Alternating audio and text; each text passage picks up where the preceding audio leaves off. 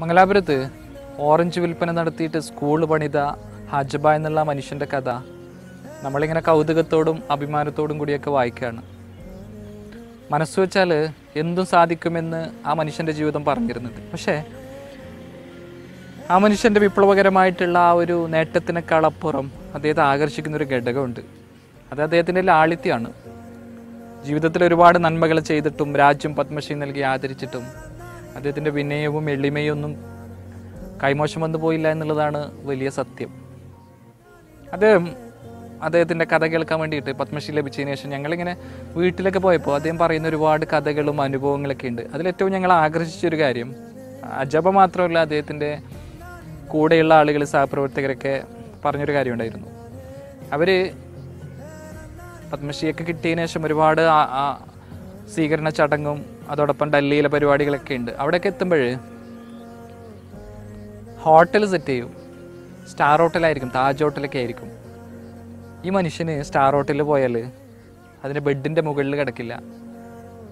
ഒരു വിരിപ്പ് എടുത്തിട്ട് താഴെ വിരിപ്പ് വിരിച്ചിട്ടായിരിക്കും കിടക്കുക. ബക്കറ്റിൽ വെള്ളം എടുത്തിട്ടായിരിക്കും കുളിക്കാൻ ശ്രമിക്കുക. ആ ഒരു ലക്ഷറി ലൈഫൊന്നും അദ്ദേഹത്തിന് ഇപ്പോഴും ഉൾക്കൊള്ളാൻ കഴിയുന്നില്ല. അദ്ദേഹം പറയുന്നത് ഞാനൊരു കുടിലായിരുന്നു ജീവിച്ചത്. ഞാനൊരു ചെറിയൊരു വീട്ടിലായിരുന്നു ജീവിച്ചത്.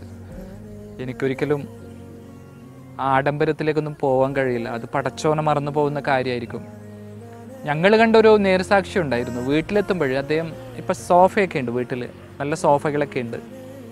വീടൊരു ആരോ നിർമ്മിച്ചു കൊടുത്ത വീടായിരുന്നു. അതോടൊപ്പം ലഭിച്ച ഒരു സമ്മാനമായിരിക്കാം സോഫ. പക്ഷെ ആ മനുഷ്യനൊരിക്കലും സോഫയിലിരിക്കില്ല. ഒരു ഫൈബറിന്റെ ചെറിയൊരു ചെയറുണ്ട്. അതിൽ മാത്രമേ ഇരിക്കുള്ളൂ. ചടങ്ങിനൊക്കെ പോയാൽ ആദരിക്കുന്ന സമയത്ത് വലിയ ചെയറുണ്ട്. രാജകീയമായിട്ട് ഇരുത്തുന്ന ഒരു ചെയർ ഉണ്ടാവാറുണ്ട് പല സ്ഥലത്തും. അത് കൊണ്ടുവന്നിട്ട് ഇരുത്തുമ്പോഴേ മനുഷ്യന് ഇരിക്കില്ല പോലും. അതപ്പുറത്തേക്ക് മാറ്റിയിട്ട് ചെറിയ ചെയർ വെച്ചിട്ട് ഇരിക്കാൻ ശ്രമിക്കും. അതാണ് അദ്ദേഹത്തിന്റെ ഏറ്റവും വലിയ ലാളിത്യം എന്ന് പറയുന്നത്. ഞങ്ങൾ ചോദിച്ചു പത്മശ്രീ കിട്ടുമ്പോൾ ആ വാർത്ത അറിയുമ്പോൾ എന്തായിരുന്നു നിങ്ങളുടെ അനുഭവം എന്ന്? അദ്ദേഹം പറഞ്ഞു ഞാൻ നാട്ടിലെ റേഷൻ ഷോപ്പിലായിരുന്നു. പത്ത് മുപ്പത് പേര് ക്യൂ നിൽക്കുന്നുണ്ട്. അതിൽ പതിനഞ്ചാമത്തെ ക്യൂ ആയിരുന്നു എന്റേത്. കേന്ദ്ര ആഭ്യന്തരമന്ത്രിയുടെ ഓഫീസിൽ നിന്നാണ് വിളിക്കുന്നത് എന്ന് പറഞ്ഞപ്പോൾ എനിക്ക് ഇന്ത്യ അറിയില്ലായിരുന്നു. ഞാൻ അപ്പുറത്തുള്ള ഒരു ഓട്ടോ ഡ്രൈവർക്ക് ഫോൺ കൊടുത്തു. അവർ പറഞ്ഞു നിങ്ങൾക്ക് പത്മശ്രീ കിട്ടിയിട്ടുണ്ട്. ആഭ്യന്തരമന്ത്രിയുടെ ഓഫീസിൽ നിന്നാണ് വിളിച്ചതെന്ന്. അപ്പോൾ എന്ത് തോന്നിയെന്ന് ഞങ്ങൾ ചോദിച്ചു. ഒന്നും തോന്നിയില്ല.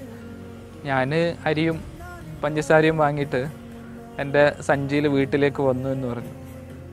സത്യം പറഞ്ഞാലുണ്ടല്ലോ. ഇപ്പോഴും ഇങ്ങനെയുള്ള മനുഷ്യന്മാരുണ്ട്. അഹങ്കാരമില്ലാത്ത ജാടയില്ലാത്ത എന്തെങ്കിലും ഒന്നാവുമ്പോഴേക്ക് മറ്റുള്ളവരോട് മിണ്ടാൻ പോലും മടിക്കുന്ന തലക്കനം കൊണ്ട് ഭൂമിയിൽ കാലുകുത്താൻ കഴിയാത്ത മനുഷ്യർക്കിടയിലാണ് ഹാജബയൊക്കെ ജീവിക്കുന്നുള്ളത്.